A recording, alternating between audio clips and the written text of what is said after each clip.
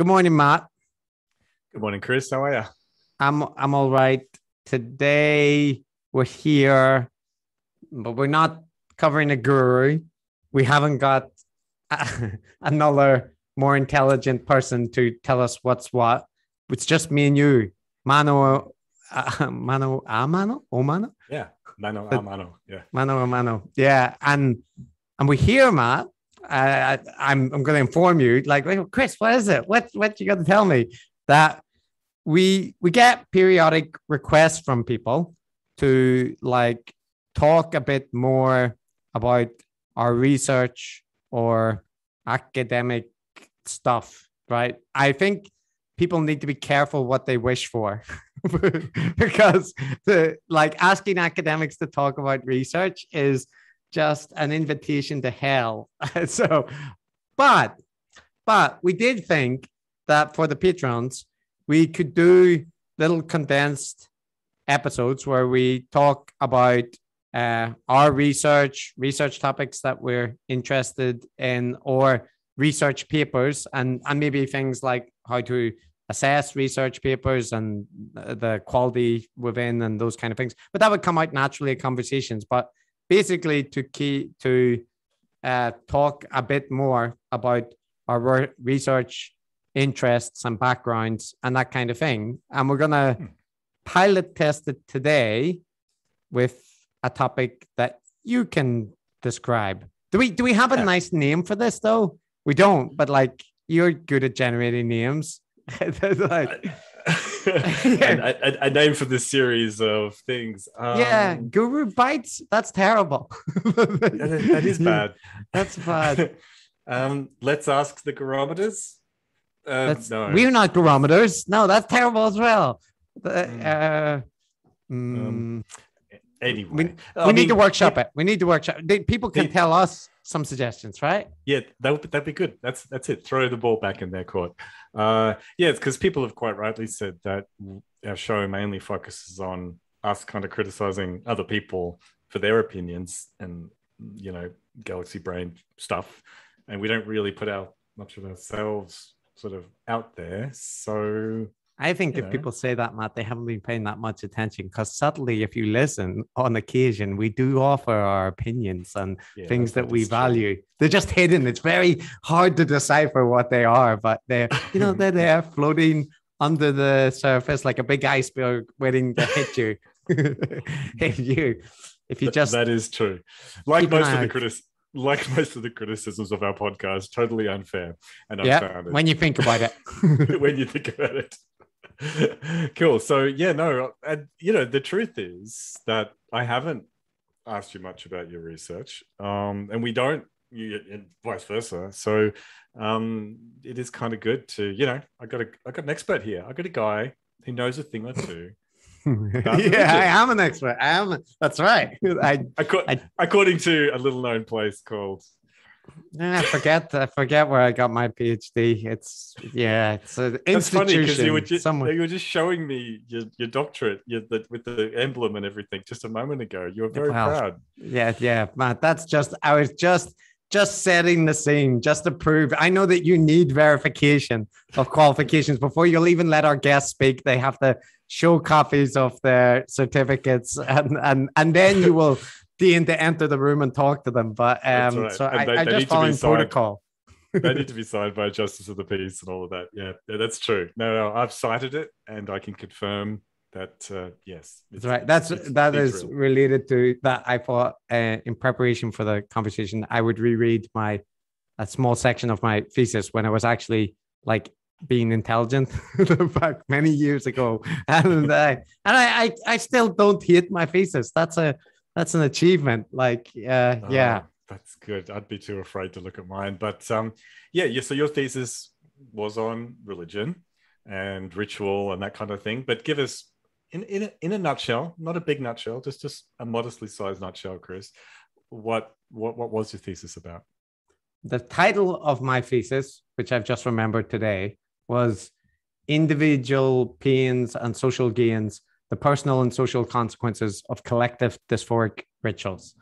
Mm. And that so that's it in a nutshell. It's a very good title, Matt. It took me time and it condenses it, uh, what it's about. But it only makes sense, I suppose, if you know what collective dysphoric rituals are. And those might be slightly psychology jargony terms, not So- collective. so- Everyone knows collective. so dysphoric is stuff that is unpleasant, right? Um, doesn't Correct. feel good. You're a psychologist. yes, that's right. So that makes me think of things like I don't know, maybe like at a Masonic. Okay, I'm just spitballing here. Is it like at a Masonic temple, for instance? You know, where they they have these weird ceremonies that are I don't know, they get their bottom spanked or something. I I, I don't know. I've- I've Indeed, that's bottom spanking was the primary focus of this uh, dissertation. No, but actually, yeah, not not not that far off base. I did uh, three three kind of empirical studies as part of the thesis. There were originally six. I was just being optimistic that I was going to fit those in, but in any case, I did one which is on a survey of Brazilian jiu-jitsu practitioners. Uh, they have this kind of thing which they do at greeting ceremonies, some groups where they whip each other on the back with their belts, and the people are often not wearing their their gi top, uh, so the they get like very badly bruised and welts on the back, and it's kind of like you know part of the promotion ceremony. Um, so I was interested in whether that had psychological effects on how you see the group and uh, how connected you feel with the other people. Because some groups do it and some groups don't. That was the interesting thing. Then uh, the second st- study or set of studies was getting people to do artificial rituals, small, uh, small rituals that we had invented in laboratories in Oxford and in Hokkaido in Japan.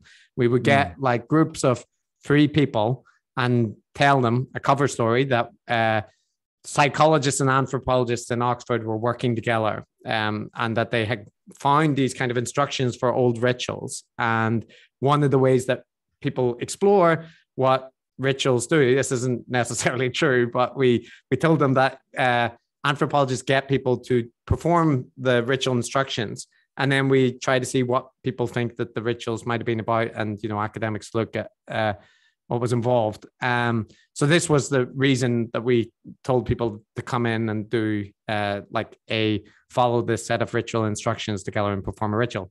But actually, what we were doing was that we were modifying the environment across a couple of conditions. So uh, the manipulation was basically whether it was unpleasant, neutral, or unpleasant, and this was manipulated by whether the background uh, sound playing during it was screaming infant, kind of babbling generic infant, or like happy laughing infant, but laughing in a non creepy way. That was an important thing to, to, to calibrate. And and then also uh, the room was either dark or well lit, and the the little idol that they were doing the ritual with had an angry expression or a happy expression, and so on So you were varying whether or not it was dysphoric or not, right? That's to a certain extent right like we we couldn't make it so just like uh yeah environmental cues that were a bit more unsettling it was Yeah. very unpleasant to listen to a baby scream for like it took 15 minutes Yeah, five minutes for each person to do it so but the But- ethics board wouldn't wouldn't let you spank people, right? Uh not in that study. Yeah.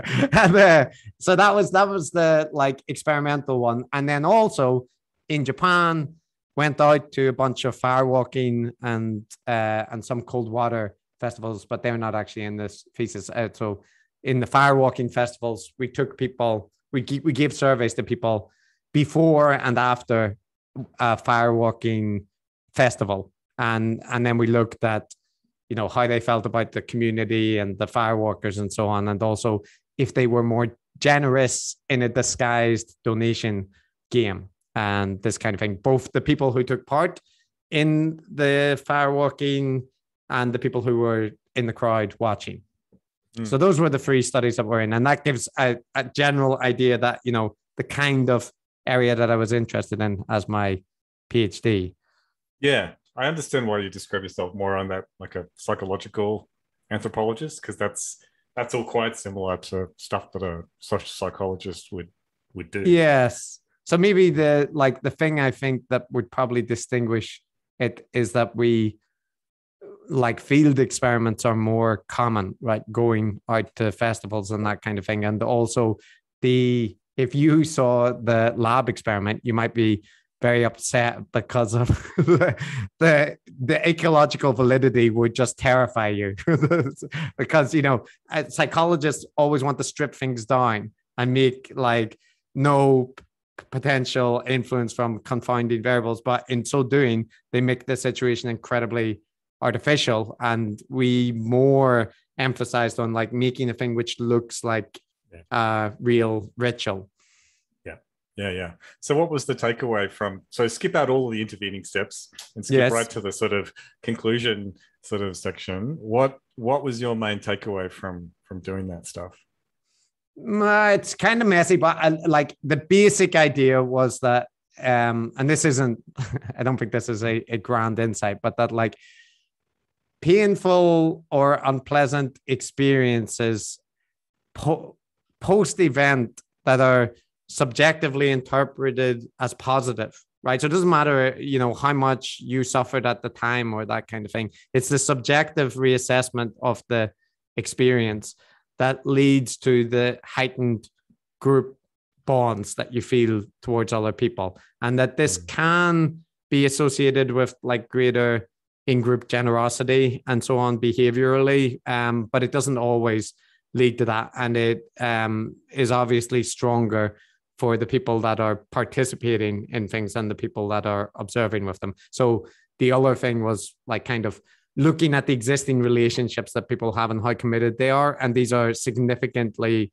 confounding. So, you, you know, it, it stands to reason, but you can't, I think in most cases, it would be hard to generate a deep commitment to a group purely from getting them to do a ritual event. Like it has to have yeah. the invested meaning in it. it yeah yeah. Like these things in the real world they happen within the context of a you know like a community generally of people that have been living together and working together for for, for their entire lives. So i mean stepping back a little bit one thing that occurs to me is that one of the underlying assumptions from you know people like yourself and psychologists like me is that a lot of the things that people do in groups um, are functional yeah they, they serve some kind of purpose. It's not just mm-hmm. like a it's not just random stuff that happens but of course the sort of null hypothesis is is that you know what i mean? Like some some things are a bit random and just kind of arbitrary. Um but I, I guess the underlying presumption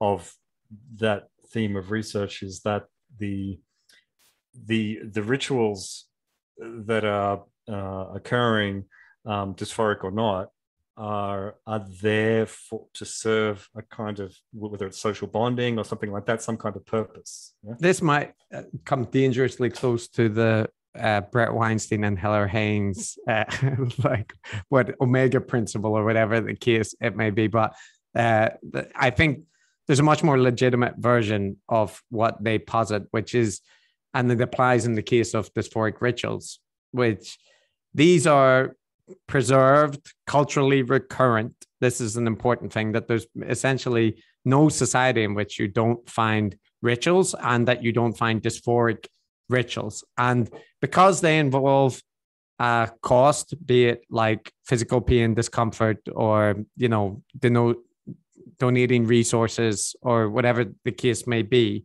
there is a question of why. Like, why are people doing this and why is it being preserved if it serves no purpose. And it can be there are there are bound to be occasions when you know it's it's preserved as a byproduct of something else which is being uh, which has a functional purpose.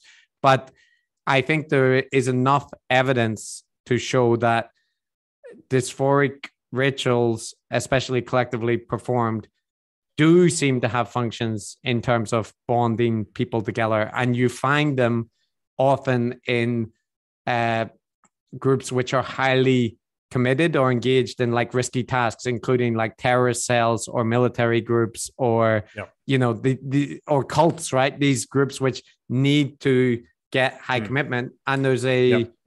uh there's a theory by joe henrich uh, which focuses around rituals as creds credibility enhancing displays and that the argument is that you know taking part in rituals it demonstrates a behavior to indicate that you hold a certain belief or you hold respect for a certain group. And if the mm. behavior is unpleasant, difficult, and so on, that this is a more convincing behavior than just like staying, yeah, yeah, I yeah. believe in whatever. Yeah. Yeah. It made me think of, and correct me if I'm wrong, but it makes me think of like costly signaling. Um, yeah. I have a section I mean, on it in the thesis. Oh, of course not. It's there. So, so the idea with that is that you know you can't just rock up to the Masonic Temple and say, "Hey, I'd like to be a member," and they say, "Okay, here you go. Here's your badge," and they go, "Great," and then you stroll off. You need to sort of demonstrate your commitment by some sort of costly signal. Some, and you know, this is where I could see where the dysphoria can kind of fit in, right? Because it's something, something that's not easy. It's not necessarily pleasant. It's something that that, that indicates that you care enough about this group to want to suffer a little bit in order to be a part of it. And there's a researcher called Aldo Cimino who has kind of taken this perspective and applied it to an evolutionary framework. And he's argued that uh, initiation rituals specifically are a means of uh, weeding out free riders on groups, mm. right? Because being a member of a group can give you elevated status, elevated access to resource, and that if you have people that you know ultimately don't contribute to the group, but just take that this is a problem and would have been a problem evolutionarily for human groups. So being sensitive and developing like cultural tools that allow us uh, to to discover uncooperative members is is important. So his framework's interesting. I've mm. I, have actually talked with him, and we have some uh, areas of like disagreement or that we are unsure what the empirical evidence show because he's primarily focused on uh, initiation rituals. And a lot of the rituals that I'm talking about are not initiation rituals. They're rituals for people who are already members of the group. And so it's a slightly different dynamic. But yeah, but we hmm. actually plan to do studies together to look at some of that um, if hmm. we ever get time. yes. Well, just a little side note. I'm going to put a pin in this because, but I'm just going to mention it just because it's. Well, I think it's interesting. Is that um, back when I was doing my PhD, just just I, I happened to read this paper where they they played around with the iterated prisoner's dilemma. And for people who aren't familiar, the prisoner's dilemma is the sort of thing where you can cooperate, you can defect, um, and depending on what the two actors do, there'll be these differential payoffs. It's this this classic little toy model for exploring these sorts of evolutionary cooperative or um, cheating defective type behaviors which which you just referred to so the iterated prisoner's dilemma is one where you, you play that game not just once but you do it multiple times and it gets much more interesting then um, so um, one of these days chris I'll, I'll tell you about how when i uh, i programmed up the iterated prisoner's dilemma with some very simple little dna like you know computer DNA strands that govern mm. their hmm. behavior based on what the other player had had done, and then they all there was a population of them. They all played each other, and so we had this population of of little um, little agents um, playing the game against each other and getting uh, differentially selected into the next generation based on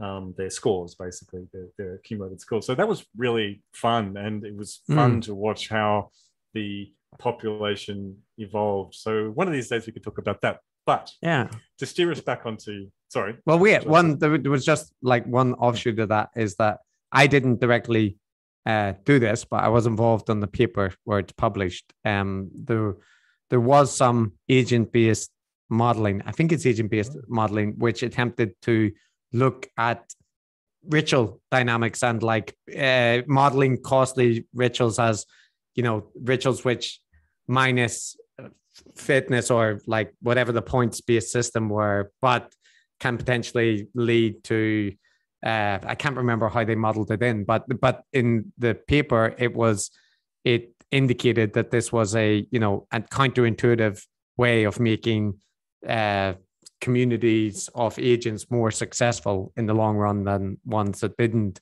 do yeah. it. So it's not yeah, even like the, the thing with modeling studies is always there's a lot that goes into the parameters that you yeah. build in your model. So if you're good at modeling, you can Yeah. almost produce Always evidence. get the answer you want. Yeah. No, I know. So- I know.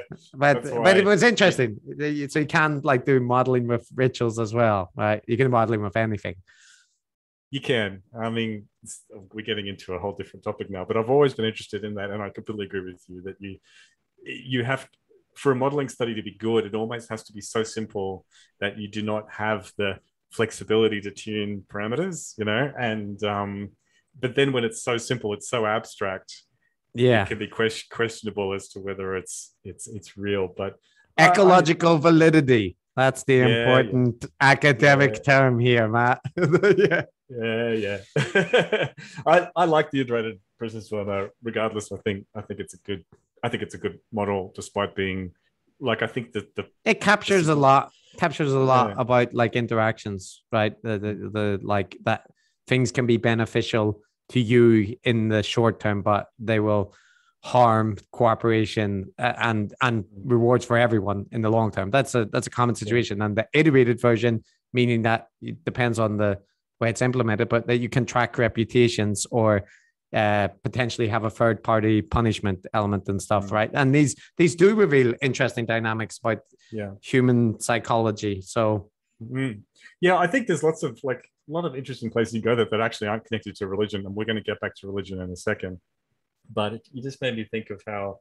Like at, at our university, like a lot of organizations, uh, I've noticed a tendency where they want new applicants, like job applicants, you know, or, or new members, um, employees, to sort of do their time. Like they'll sort of Hmm. be denied promotion and whatever, and they'll be given. I think this is true across the board. Given a lot of not the worst jobs and so on, and it's kind of like this thing where everyone's got to do that for a year or two or more to sort of. Sh- and I think a lot of it's got to do with showing commitment.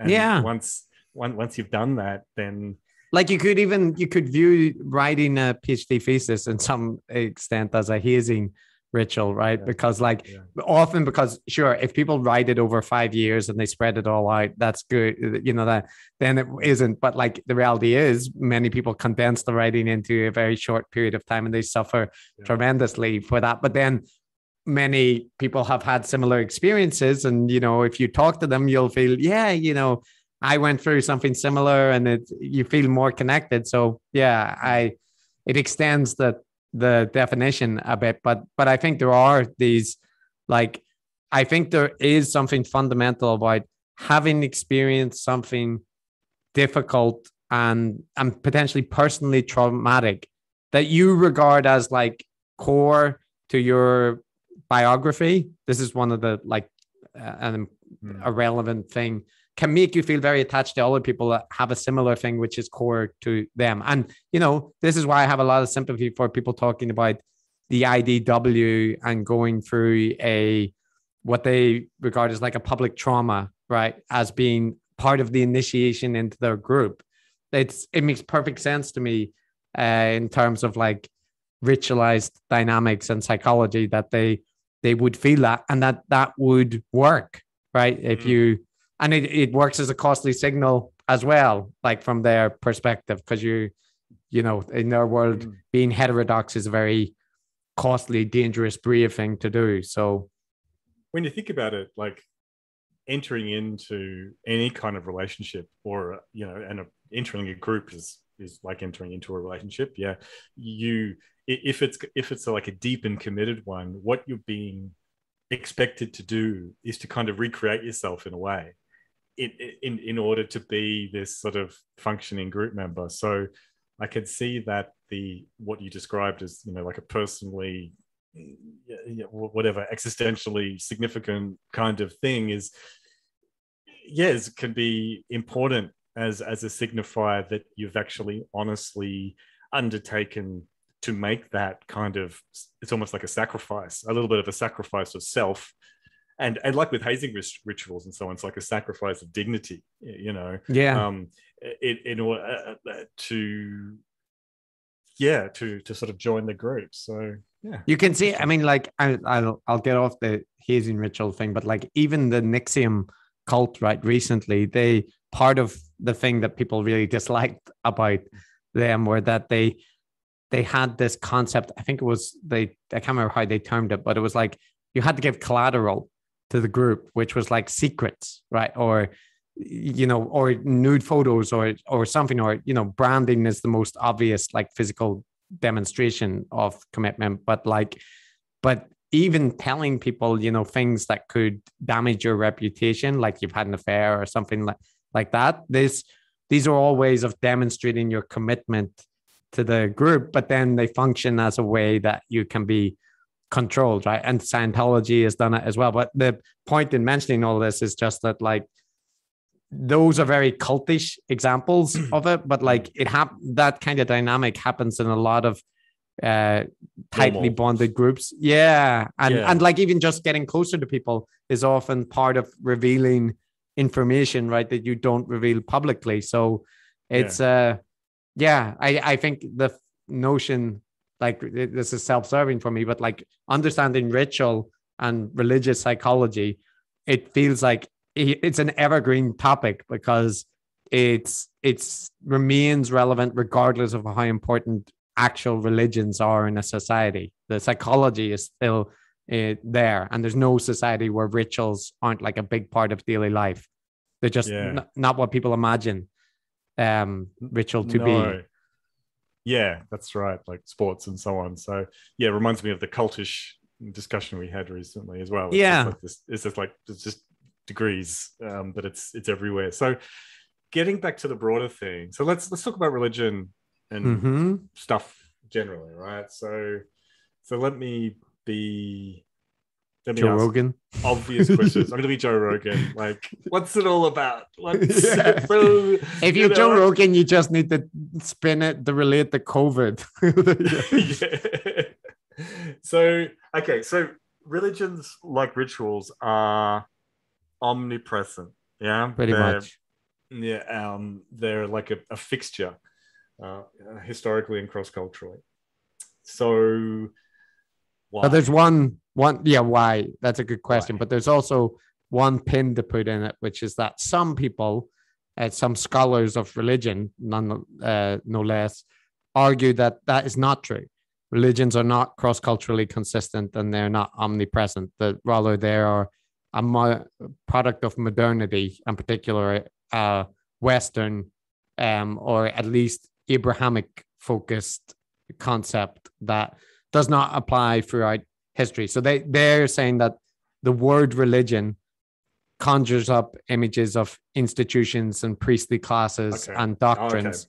Yeah, okay. That's not what I meant by religion. Yeah, No, and so yeah, that's so- why they're that's wrong.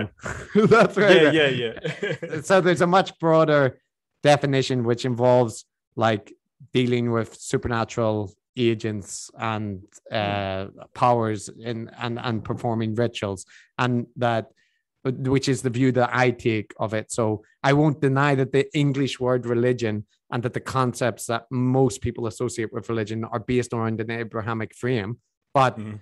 but there's much this interacting with invisible spirit entities and concerns with ritualized practices is ancient, cross-culturally recurrent, and doesn't require all of those things.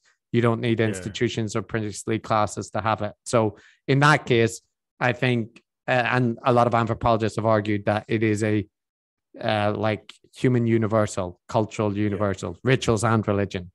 Um, so why? yeah. why is Why? a good why yeah so there's lots of explanations right there's tons there's there's like terror management theory explanations which i think are maybe largely debunked but but it's Yeah. still but still quite popular the notion that like to deal with existential dread we Mm. develop afterlife scenarios and so on and then there's also functionalist takes about like the roles that institution play in kind of gluing societies and communities together, right? Creating totems for groups to belong to. And it relates to the stuff that we've been talking about with costly signaling theories and, Mm. and so on, and kind of evolutionary perspectives on why religion exists, which it probably is what are worth talking about. But I would also say that I think at a very base level, there's there's good arguments that the way that human minds and human cognition functions makes us likely to believe in invisible agents and to see uh, patterns of causality where there are none, and to regard ritualized performances as uh, important ways to transmit like culture and information and so on. So there are all these like little parts of our cognition which would mm-hmm. incline us towards believing in invisible entities and supernatural uh, like causality. And these then I think bleed into the more evolutionarily group uh, kind of group, not group selection, but like cultural evolution uh, explanations about how religion and religious institutions in particular the there's a researcher called Dominic Johnson and he argues that if you want to create like communities that can function in very large groups right this this is like a thing with prisoners dilemma. How do you maintain trust or and cooperation within non-kin right which we see a lot in human non cooperation mm. with non-related mm-hmm. people and the answer is usually cultural institutions and early cultural institutions that can fulfill the role of uh, punishing people for non-cooperation for immoral behavior and say that you even if you escape sanction in this life you will receive ultimate sanction or supernatural punishment systems mm-hmm. um, yeah. So, yeah, that's interesting, isn't it? The idea of the punishment systems, because like these days, modern people we're we're used to the idea of these codified abstract legal systems of laws and precedents and and so on. But you know, that's a pretty you know ab- both abstract and a pretty new innovation. Like before, there was often that problem of of legitimacy. You know, kings or or leaders or whatever, and the the supernatural and the religions provides a direct like a like yeah a, it's well, almost the two, like the direct route to legitimacy doesn't it the two weren't separate right like the mandate of heaven in china was is like a supernatural concept right that the rulers who were supposed to be like that the cosmic order had determined were the people that should lead would be the ones who led so if you yeah. and if they didn't have the mandate of heaven they could be removed by revolutions and so on and and vice versa with like the divine right of kings of right kings. yeah so in europe so you you you have the intertwining of like supernatural legitimacy and uh like more secular but they weren't secular then but you know concepts of laws and and social contracts and that kind of thing yeah, so just just social organization like yeah like like hierarchical like a rationale for this is why you're working in the field covered with shit and I'm riding around on a horse, right? It's not just it's not just luck, you know. Yeah, you're meant to be there. I'm meant and to be here. Yeah. I I think I don't know the details of them like uh, that well, but the Hammurabi codes, right? The these kind of ancient like inscriptions that will set out a series of codes and laws I would be surprised if they were, you know, entirely secular in nature and you know the completely divorced from any concepts of yeah, uh, yeah. like divine authorities and invested in Hammurabi or that kind of thing. So and, and you do see like in in stuff like the Old Testament, you know, um, those sorts of scriptures, like the it's full of rules and exhortations of what you should do and what you shouldn't do and you need to respect and so on and like a lot of it's kind of crazy or contradictory. But if there is a theme, then one of the themes is cooperate and be um, like play play your role in a cohesive uh, society. That's kind of the that's kind of the theme you get if to be to be a good um, religious person. But I, I like what you laid out there because you you sort of laid out those three broad sort of theoretical explanations. So you've got those that social bonding and cooperation stuff that we just talked about, and, and before that you talked about the cognitive aspects, which mm. I think are kind of interesting. We could talk a little bit more because there's that these natural heuristics and biases and so on that we have in terms of seeking explanations for things, causes mm. of things, um, and also the sort of uh, you know. But I, I think it's I, I, I, still, despite the fact that terror management theory, I think has been debunked. I heard that too. But I still have personally have a lot of sympathy for existential concerns. I think important. it's debunked in some of the stronger claims, but maybe the core idea that belief in an afterlife provides existential comfort, I think is hard to debunk entirely. And yeah. or the notion that people will be punished eventually if they transgress, even if they don't seem to be in real life. Like there's an obvious psychological satisfaction in that idea that, you know, when we look around the world and we see Trump being the president and so on, right? Like that, it seems like exploiting and being the worst kind of person is often rewarded in society. But you want that, if that were the case, you know, that's not a good message to send to people. Um, so you prefer to have one where there is a universal system of justice that will take care of that, even if the human life doesn't. And even if you suffer tremendously in this life, but you are a good person, you mm. will be so it like in this often is like why religion sometimes gets associated with uh, social conservatism, right? Because it's saying you don't you don't need to worry about your condition so much in this life because you know do what you're supposed to do follow your position in society and be a good whatever you are and you'll get your reward eventually. You don't need to become a revolutionary right? But but on the other hand religion has also served as a potent stimulus for various revolutionary groups or like uh, social uh, social justice movements throughout history right often have religious figures at the helm especially in the uh, modern period. So yeah it's a it's a rich tapestry like uh, it, it is not just the opiate of the masses though no. it has functioned as such in in many societies yeah, I don't think any of those explanations are mutually exclusive. I, I think. I no, they they're not. Mm.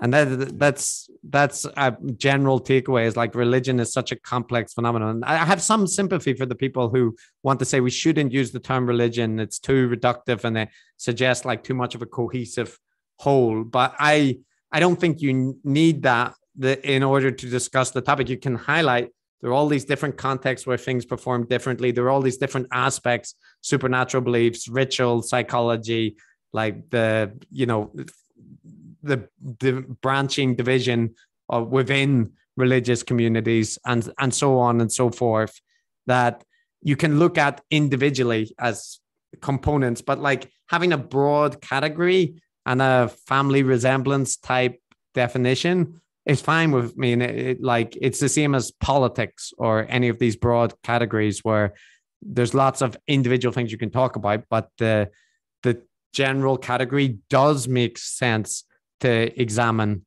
Like if you talk about prehistoric politics, it it makes sense, right? Even though it's you're obviously not talking about multi-party democracies or that kind of thing. Yeah, yeah, yeah. As long as you we define our terms, and it's fine. You use something snappy like religion instead of using one of the definitions you pasted into the chat there. A system of beliefs and practice that revolves around commitments to supernatural anthropomorphic beings. that, that's yeah. a bit of a mouthful. So you know, these just, are just, and that's that's the shortened version yeah, the, yeah. the other one. So it, yeah, yeah. there. But I think so, that the uh, hmm. go on. One thing that sometimes gets proposed as not necessary, and I think it is important is that like the distinguishing feature because people sometimes say well there's nothing distinguishing you can apply the definition to anything right but but no because to me what distinguishes religion from other areas of life to some extent right it's always intertwined like we talked about with politics and all that kind of stuff but there is the supernatural element the mm. appeal to invisible beings or forces that are the driving things. And then the ability to manipulate said forces by the correct beliefs or the right rituals. And that though that is not inherent in every other aspect that one might, you know, associate with similar dynamics. So some people say, well, but you know, there are systems of religious belief that that have no gods. And that is often sort of true. Like people made that claim about Buddhism, but where it's completely not true because Buddhism has gods, not not even the Buddha and stuff. Well, what his status in mo- and in most Buddhist contexts, he's almost functioning as a god. But even when not presented as that, there is actually a realm of rebirth in traditional Buddhism, which is gods. So the there are gods in in Buddhism, but uh, but there are other systems which have a better claim, right? Animistic systems and so on. But in those mm. cases, you definitely still have supernatural uh, things, things mm. which are invisible, which are you know that are not the same as like a, a boar running through the forest. And people sometimes take exception because they say, well, in those societies, they are treated as if they are, you know, physically there and just as real as a boar or an elephant. And but I even then I I often find those claims unconvincing when you read the literature. It's like people believe they're real, but they they don't treat them in exactly the same way they would, you know, just a wild animal that needs no. to be mollified or that kind of thing. No, no, I don't see how that's different from a modern day evangelical saying that Christ is literally here with them and talking to them and him and so on. But you know, I think I, I agree with you that I think that that supernatural element is is is is a necessary one and one that it distinguishes it from other kinds of belief systems because if you look at those those sort of theoretical explanations you mentioned before like you can take those cognitive um, reasons, which it's like a shortcut to, to explaining why things happen, is, is one way to sum of that up.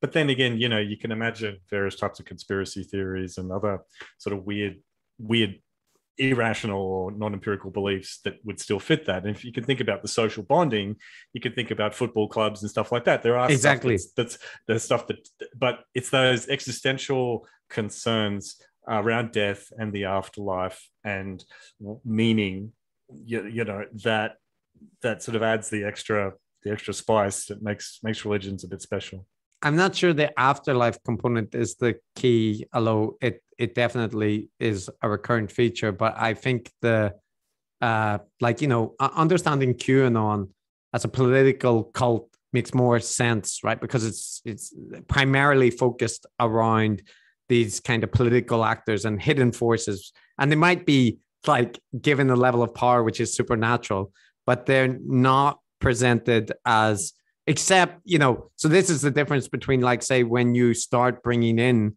religious motifs about blood sucking demons or or you know alex jones style christian uh, ethno nationalism layered on top of the conspiracy worldview. And there, you can have those overlaps, but I think like kind of what you're suggesting when you're talking about the afterlife things is more that the motifs and the kind of figures and cosmological systems in religion are much more powerful because of the depth of symbolic meaning attached to them yeah. than something invented whole cloth. So even new age cults and what will usually mm. reference Jesus, Buddha, mm. You know, they might even take Muhammad and and so on, but they'll mix it in with other more modern things. Uh, but well, but you still need those people. Well, here's an interesting example of that. I was listening recently to uh, these people with these very strange extraterrestrial beliefs, right? So, so you know, it followed most of the tropes that people would be familiar with. You know, there's all these different alien civilizations and there's good ones and there's bad ones and there's like there was this whole elaborate baroque system that was the being... raptors the greys yeah, the spider that's, aliens that's right the greys the spiders and there were these layers of it was you know layers of baroque craziness but it wasn't you could just tell that the way they spoke about it it had these really strong religious overtones like i think these people were sort of simultaneously quite christian and religious as well as totally believing in the alien overlord thing and I could just tell I can't articulate it. You, you could probably explain it to me, but it, it felt to me like it, it, it was an overlapping magisteria. You know, yeah, it, it is the same thing, and sometimes directly overlapping because the Elohim from biblical or I don't know Abrahamic sources get like brought into that cosmology as actually being you know aliens, and and that yeah. they the, the, so you have you know a kind of stargate scenario where the the ancient religions are associated with like alien beings and and and have overlaps there. So you have those crossovers, but I think the you know you you see it also not just in like cults and um and those kind of you know UFO believers or so on. The interest in a, a detailed cosmology of of different beings and factions and and where and and powers attributed to to different individuals within this grand system, right? Cosmologies. That's something humans love, and and they love it in their fiction as just oh, as much as they love it in their dramas, right? People will build the Game of Thrones huge chart of all the relationships, and I think that comes from a combining like social primate love of interest and gossip and in human interaction with a bigger significance, right? And a more it like counterintuitive properties, which make it more interesting because your yeah. fundamental it's the problem of science fiction, uh, a lot of science fiction that you have aliens which are supposed to be alien and you know completely separate evolutionary lines, but the way they're written is fundamentally human. They're they have yeah. the petty feuding and they're you know they're social primates that look like lizards or jellyfish. So yeah. it's yeah, I think there's a lot of overlap and and the cosmological systems in the pre-modern period. You have to also understand them in a world where there isn't mass media entertainment. Yeah, it is entertainment like that's right, like the Greek pantheon or the or the um the, Norse pantheon uh, as entertainment. You know, stories, like, right? Like, Legends like and when, myths. When when when there's no Netflix, it's a long evening. You have to fill that time. well, it, most of humans were just tilling in fields. the majority of that, but but when you come back from your your backbreaking labor you you know you want to do something so you got to hear a story yeah, yeah. a story yeah and there were well, always people Sorry. in society mm. who you know were good at that the yeah. so in some respect i mean this might be stretching things a bit far but like i think the gurus that we cover in a different time might very well have been the storytellers uh mm. the type yeah. who would you know be talking about the spirits and so on yeah, there's a fine line between high priest and storyteller sometimes. But I, I like the thing that you hinted at, which is that like people love the complexity. They, they love the intricate social relationships and the different powers and qualities that are attributed to the different actors and agents in these things. And that rang true for me because in you know one of the things I've studied, which is complementary and alternative medicines, and you know one of the interesting questions is why do people like them so much because they do like them. They're inherently appealing. And one of the reasons I, I genuinely believe is that most of them are just fascinating. Like they're just they're just intrinsically interesting. Like just to take one example, like this color therapy thing, there's like hundreds of different colors. They all have different qualities. They can combine with each other in different ways.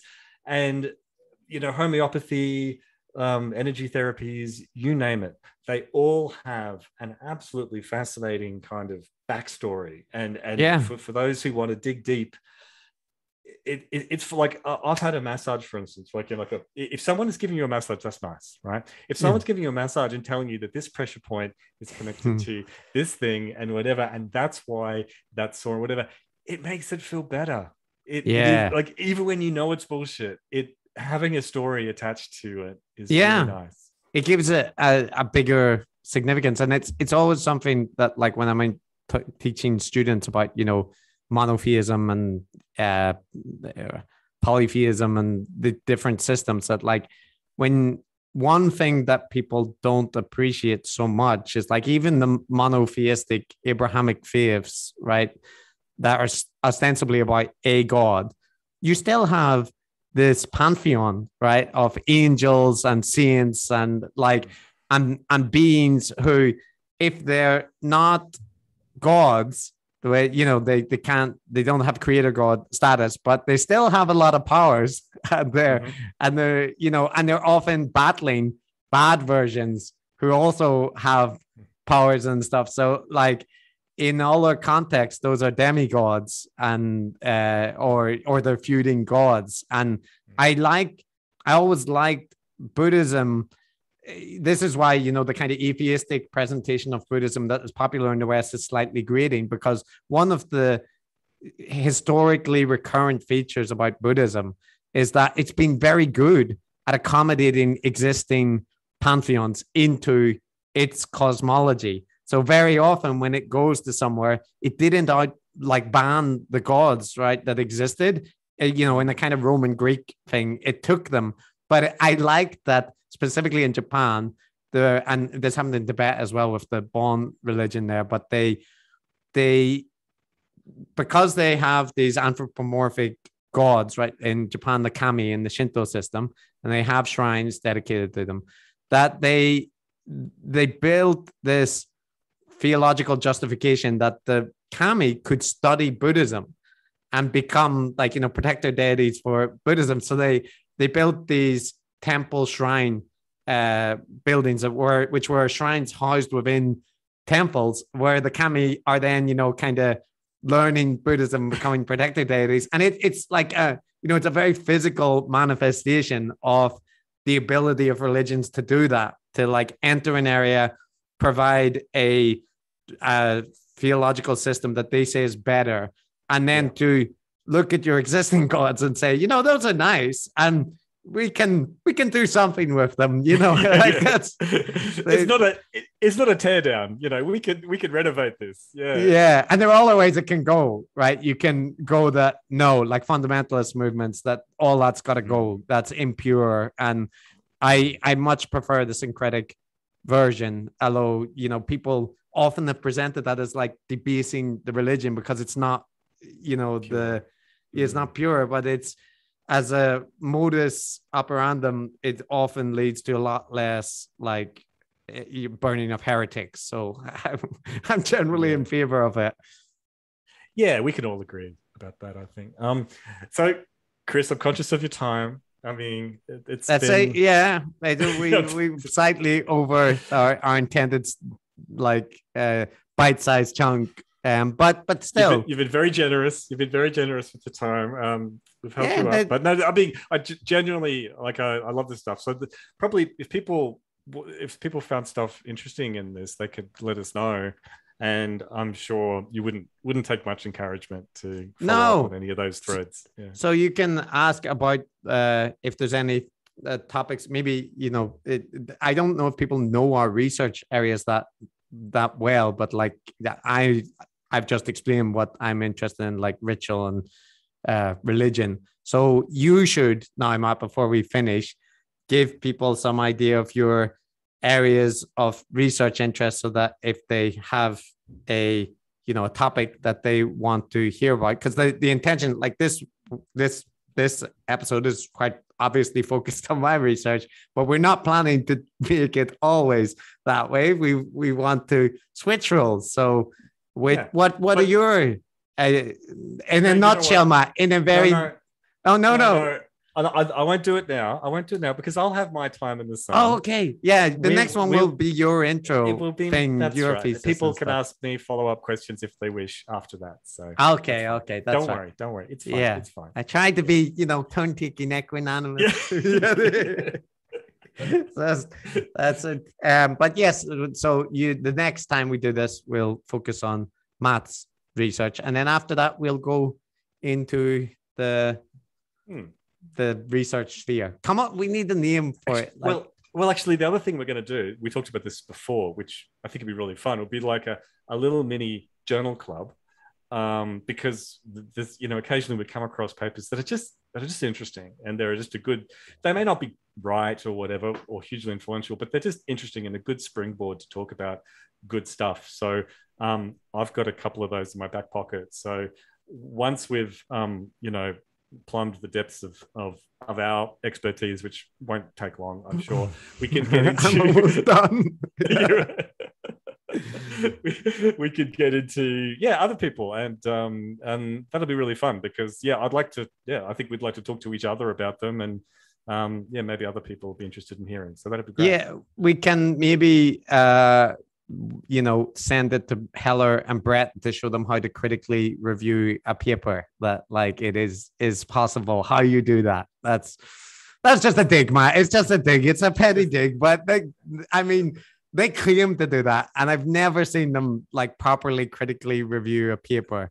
Uh, So we Yeah. could actually do that. We could actually, so that's kind of a separate thing in a way, because I, I was just thinking of papers that are sort of fun and interesting to talk about. But there's kind of another thing we could do, which is take a, just take an empirical paper, for instance, and and go through, yeah, you know, how, how to how to evaluate it, yeah, critically. I don't know.